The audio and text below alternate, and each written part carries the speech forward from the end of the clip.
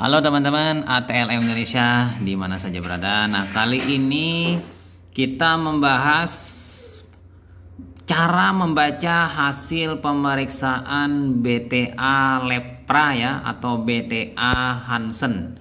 Bakteri tahan asam. Ya, kali ini karena ini lepra berarti pengambilan spesimennya mengambil dari red serum apa itu red serum? Red serum itu adalah apabila suatu jaringan atau kulit yang terkena lepra itu kita lakukan penyayatan dan dikeluarkanlah cairan. Nah, cairannya itu yang kita ambil untuk sediaannya. Nah, red serum ini ya, teman-teman, uh, bisa diambil dari berbagai banyak uh, apa namanya? Spesimen seperti yang pada tertera kali ini. Nah, Mycobacterium tuberculosis, uh, Mycobacterium leprae maksudnya ini menggunakan nanti teknik pewarnaannya Zil Nelson. Nah, untuk uh, spesimen red serum ya kita mengambilnya di cuping telinga, baik sebelah kanan, kiri, mukosa hidung kanan kiri, tangan kanan kiri, kaki kanan kiri, pipi kanan kiri, punggung kanan kiri, kemudian dada kanan kiri dan tengkuk tang kanan kiri. Jadi kalau kita jumlahkan ada sepasang yang mana spesimennya ini ada 8 8 kali 2 jadi sebanyak 16 uh, spesimen kanan kiri pada slide yang kita olah atau kita periksa.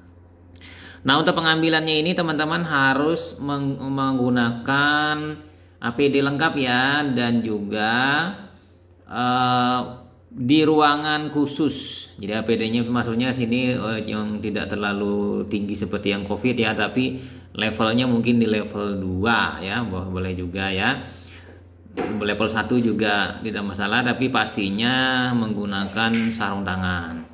Oke ya di sini Uh, biasanya yang namanya lepra ini atau kusta di Indonesia ini uh, penyakit uh, morbus Hansen ya. Penyakitnya ini infeksinya disebabkan oleh ya seperti kita lihat Mycobacterium leprae.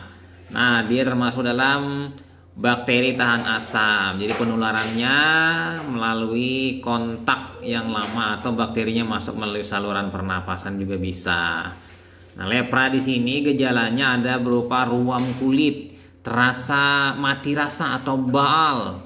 Dan gejala lainnya adalah alis rontok, adanya luka namun tidak terasa sakit. Karena di sini syarafnya yang mati. Ada lesi yang pucat, ya kan dan menebal di kulit juga kelemahan otot terutama pada kaki ya dan tangan Nah, untuk pemeriksaan kusta dilakukan dengan cara sampel kerokan kulit. Nah, kita harus melakukan insisi dulu lalu dikerok di di bawah diperiksa di bawah mikroskop ya. Oh. garis bawah Rafa Ataya. Pastinya ya di sini pemeriksaannya lalu diberi mikroskop lensa objektif 100 kali. Tujuannya apa? Untuk mencari adanya BTA yang berwarna merah seperti halnya seperti Mycobacterium tuberculosis. Nah, di sini diambil dari bagian lesi atau ruam yang paling bagus, yang agak menebal meninggi ya kemerahan. Diambil di sini ada minimal ya 2 sampai 3 tempat yang berbeda minimal, tapi alangkah baiknya adalah semuanya dari yang ada pada Blanco Lab ini. Nah, ini contoh kasus pada cuping telinga setelah dilakukan pemeriksaan ternyata positif satu dan yang kanan kirinya juga sama-sama positif satu ya. Sementara di mukosa hidung itu negatif, keduanya tangan uh, negatif juga, kaki negatif, pipi negatif, punggung positif satu, baik sebelah kanan sebelah kiri Kemudian dada negatif dan tengkuk positif satu kanan dan kirinya. Nah untuk membandingkan tingkat derajat positifnya ini ada skala Ridley. Skalanya ini berbeda dengan skala yang dimiliki oleh BTA tuberkulosis. Skala Ridley ini dengan uh, lensa objektif pembesaran uh, 100 kali apabila dikatakan 0 atau negatif itu ditemukan BTA dalam 100 lapang pandang.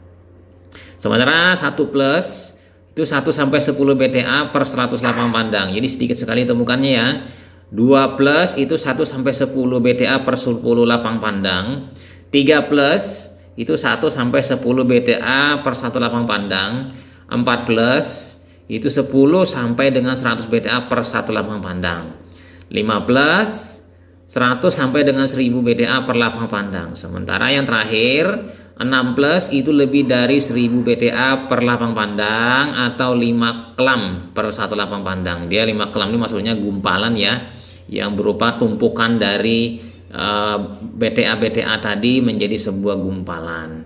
Oke ya, kira-kira ini uh, contoh belangko hasil pemeriksaan laboratorium BTA lepra yang mana teman-teman bisa mengambil atau mengadopsinya pastinya lagi di sini uh, berdasarkan kasus ini dapat disimpulkan bahwa ini pasiennya memang terinfeksi uh, Mycobacterium lepra tapi infeksinya hanya terjadi di area cuping telinga dan tengkuk serta punggung. Jadi tiga area saja sementara yang lainnya tidak terinfeksi.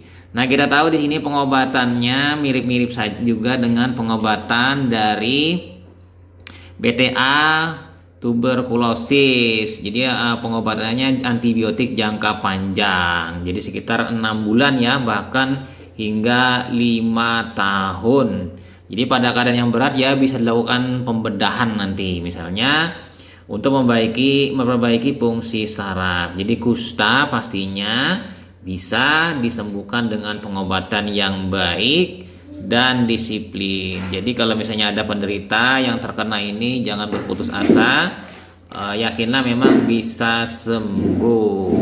Dan jadinya pastinya di sini bila tidak diobati itu risikonya komplikasinya ya seperti tadi di awal-awal bahwa mati rasa bisa saja terjadi tidak terasa sakit Kemudian komplikasi yang lainnya berupa glaukoma mungkin bisa juga kalau ke arah ginjal nanti gagal ginjal dan pastinya apa yang sudah terjadi infeksi tadi menjadi suatu cacat yang permanen.